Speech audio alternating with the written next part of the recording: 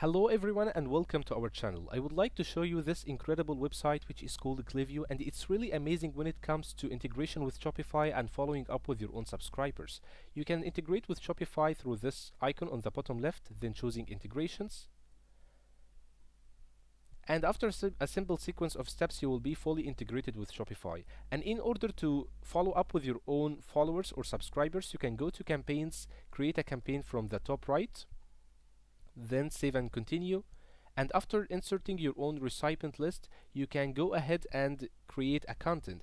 And you will find that content is divided into three types drag and drop text only and html so if for example we chose drag and drop you will find that Klaviyo actually provides hundreds of different templates to you. So you can scroll down and pick the one that you like the most and use it for your own email campaign. So if you are interested in Klaviyo and you want to know more hacks and tips, make sure to subscribe to our channel. Stay tuned and thank you for watching.